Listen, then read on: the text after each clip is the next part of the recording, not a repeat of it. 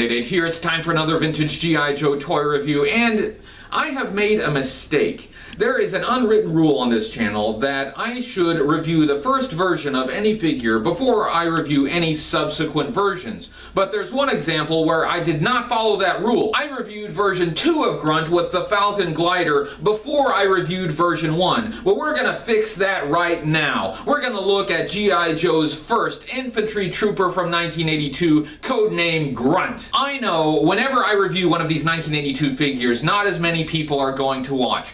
But I don't care. This is important. This is our history. This is our origin. And I'm going to review every damn one of them. In fact, it's going to be a sad day for me when I finally reviewed the last of these 1982 figures and I won't have the opportunity to go back and look at them anymore. But we're going to look at one today. HCC 788 presents Grunt.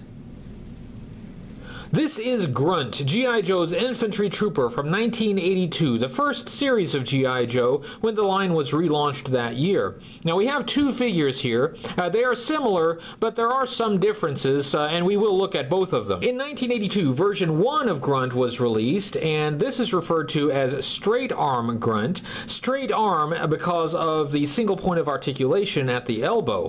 Uh, in 1983, version 1.5 of Grunt was issued. This was a reissue of Grunt, but he had a new point of articulation, uh, a swivel at the bicep that was referred to as swivel arm battle grip. Also in 1983, version 2 of Grunt was issued. Version 2 of Grunt was an exact copy of version 1.5, but in different colors. And version 2 of Grunt was a vehicle driver. He was the pilot of the Falcon glider. There was a third version of Grunt, but I don't want to look at that one right now. We will look at that one when the time comes. Infantry refers to a foot soldier. An infantry trooper is a soldier that fights on foot.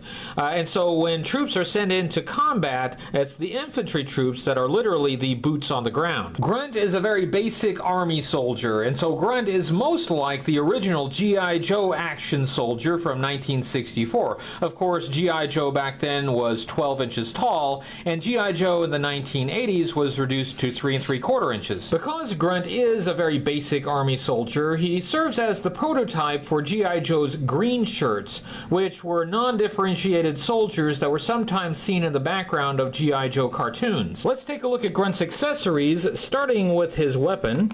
This is his M16 rifle, and this is a pretty good replica of the real-world M16. You can see it's got decent detail there, and this is appropriate for the basic infantry trooper's weapon. It looks a little bit underscaled, though, when Grunt is carrying it, it looks just a little bit too small. Comparing Grunt's M16 with other M16s in the G.I. Joe line, we can see the one that came with the 1983 Airborne is about the same size, as is the one that came with the 1985 Footloose. Of course, Airborne uh, had an, a bayonet on his, and Footloose had a strap on his. Uh, Grunt's M16 had neither of those.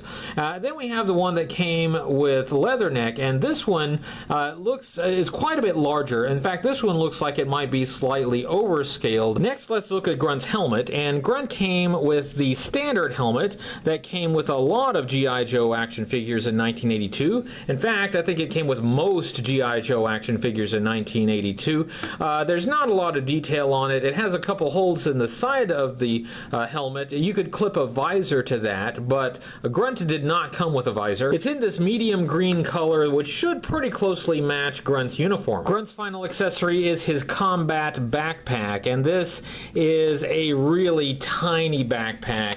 Uh, it's really, I think, just too small. It's very dinky looking, not a lot of detail. It's so small that when you put it on the action figure uh, facing the front, you can't even tell he's wearing a backpack. The sculpting on the 1982 and 1983 backpacks are the same, but the pegs are different. Uh, the pegs on the 1982 backpack are a little bit shorter and stubbier and squared off, whereas the pegs on the 1983 backpacks are a little bit longer, slimmer, and rounded at the end, and they do fit into the uh, backs of the action figures differently. So you will need to make sure you get the right backpack for your action figure. Now let's look at the articulation on Grunt, and this is where there is a significant difference between the 1982 and 1983 releases. Uh, both of them could swivel their heads at the neck. Uh, they could lift their arms up at the shoulder and swivel at the shoulder all the way around. 1982 uh, Grunt had a hinge at the elbow, he could bend at the elbow. In 1983, though, they introduced a new point of articulation. He could still bend at the elbow about 90 degrees, but he also had a swivel at the bicep, so he could swivel his arm all the way around. Uh, both figures were held together with a rubber O-ring that looped around the inside. That allowed the figure to move at the torso a bit. He could move his legs apart about so far. He could bend his leg at the hip about 90 degrees, and he could bend at the knee about 90 degrees. Let's look at the sculpt, design, and color of Grunt, and here I have to point out there is some discoloration on my 1983 swivel arm Grunt. This is Grunt's original color. Uh, there's some yellowing on the plastic of this one, uh, but better examples of the swivel arm Grunt uh, should still be in this original green color. Grunt's head features brown hair and a high hairline, and he has kind of a stern expression here. Uh, this is not the best head sculpt, it's not the worst either, uh, but this head sculpt was used on a lot of other action figures. In 1982, besides Grunt, this head was also used for Zap, but at least they gave Zap black hair, so he looked a little different. Uh, it was also used for Grand Slam, and then in 1983, it was used for version 2 of Grand Slam and version 2 of Grunt. So this head really got around. It was used on a lot of action figures, and I'm not a big fan of the practice of reusing heads. Reusing other body parts for action figures is not such a big deal, but when you reuse a head this many times, it looks like G.I. Joe has a lot of clones on the team. Grunt's chest features a green shirt with a collar and brown straps with a grenade on one side, a knife on the other, a couple pouches, and that continues around to the back. Uh, this also is not a part that is unique to Grunt. Other action figures uh, shared this chest, including Hawk and Breaker and others. His arms feature long sleeves, bare hands, and light green pockets on the upper arms. These details were changed on the swivel arm Grunt. These pockets, instead of being on the sides of the arms, were moved around to the front and given a little bit more sculpted detail. The waist piece was also changed between 1982 and 1983. The 1982 waist piece was thicker, had an H-shaped belt buckle. In 1983, they gave him a waist piece that was slimmer. Uh, they changed his belt buckle. Uh, they made his belt a little bit more detailed, and they even added a little bit more detail on his back pocket. Grunt's legs are pretty standard in green, that same color green, uh, and these legs, like a lot of other parts on Grunt, were used on other action figures. In fact, these legs were pretty standard and used on most G.I. Joe action figures from 1982. Uh, they feature unpainted pockets on the thighs and standard brown boots. It seems like since the designers at Hasbro intended Grunt to be the basic infantry trooper, uh, they wanted to make the action figure pretty basic as well. But with later infantry troopers, it seems like they figured out that's not the best way to handle this type of figure. So in 1985, with the infantry trooper Footloose and with the 1988 light infantryman Hit and Run, these figures are loaded with great details and great accessories. It's just unfortunate that Grunt was not given the same treatment. Let's take a look at Grunt's file card. This file card was printed on the back of the card on which the action figure was packaged. You can see some of the artwork from the front of the card there. This file card is admittedly very plain, but the reason it's so plain is because this is the first G.I. Joe file card ever written. These file cards were written by Larry Hama, the writer of the G.I. Joe comic book, and he created these, uh, he called them dossiers at the time, uh, really to just keep track of the characters and their personalities.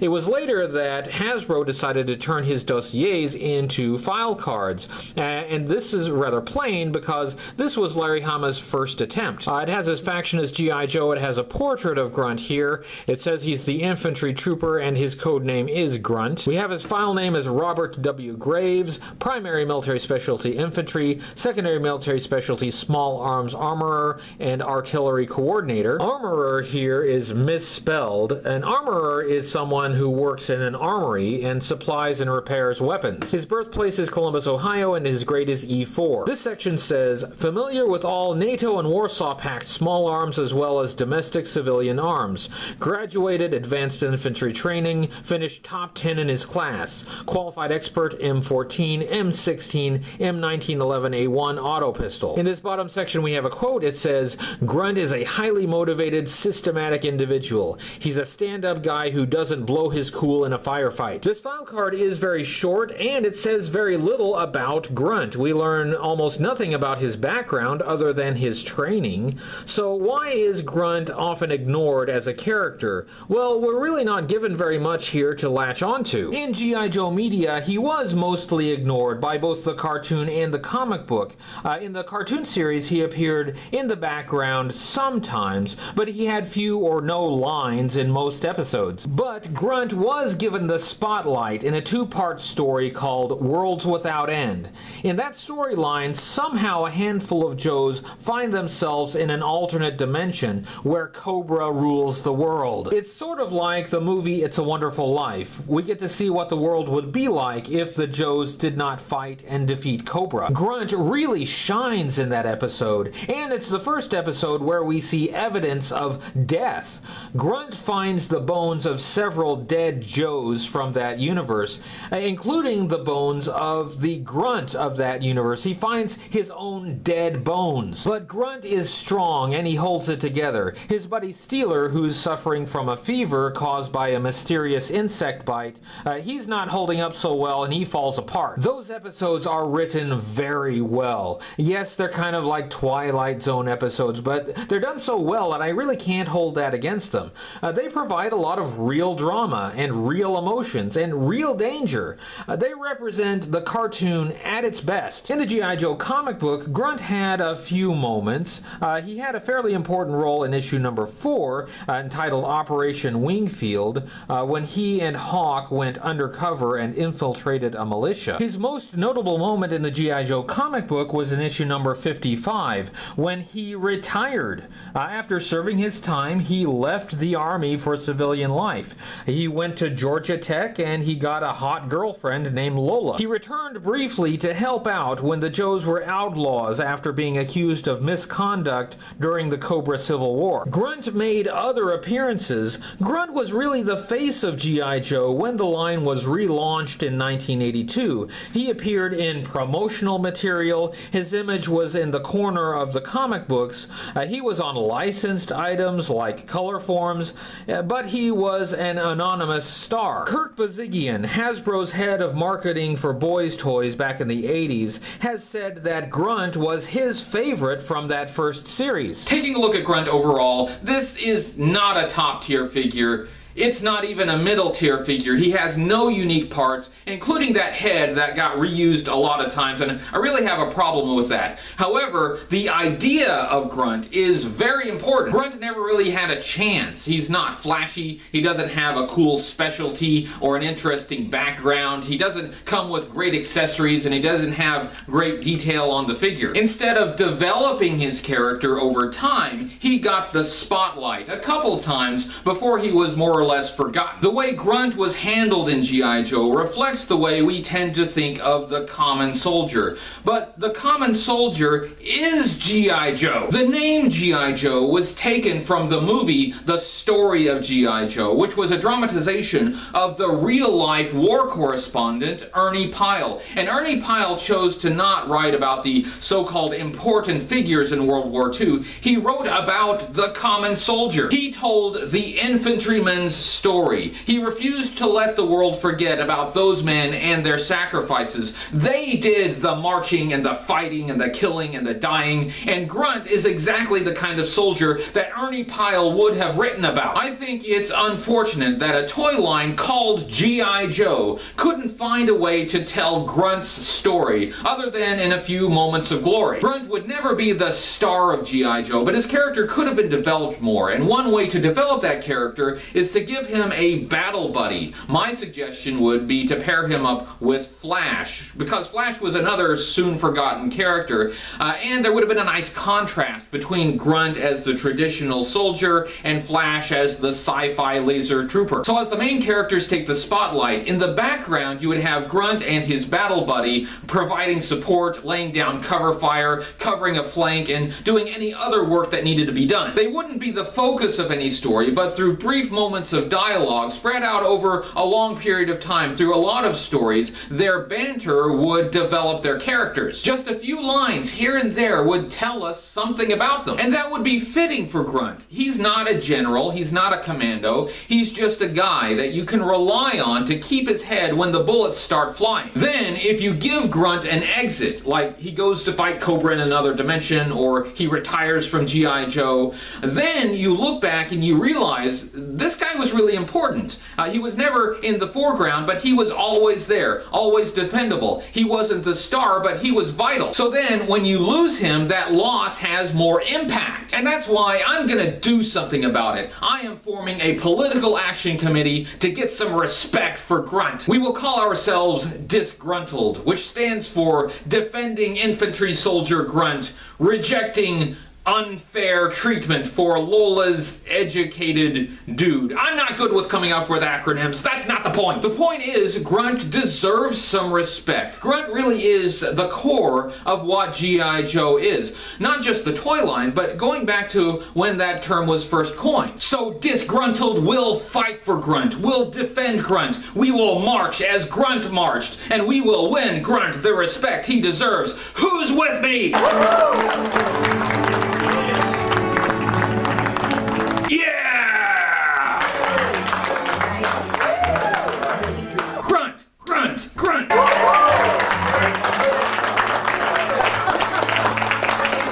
Before I go, I want to correct another mistake. In my review of the 1964 G.I. Joe action soldier, I referred to him as a generic soldier. Well, that's wrong. There may be generic action figures, but there are no generic soldiers. So I'd like to take this opportunity to thank all of those real-life grunts out there. Thanks for watching my review of Grunt. I hope you enjoyed it. If you did, make sure you leave it a thumbs up on YouTube, subscribe on YouTube, like me on Facebook, follow me on Twitter, and share this video. That's what keeps this channel going. Thanks again for watching, and remember, until next week, only only G.I. Joe is G.I. Joe.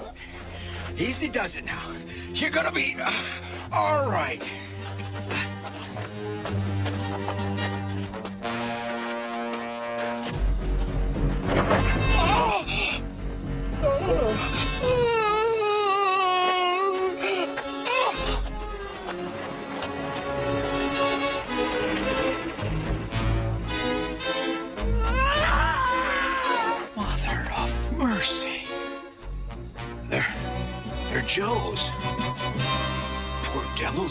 They, must have got caught in one of Cobra's weapons test.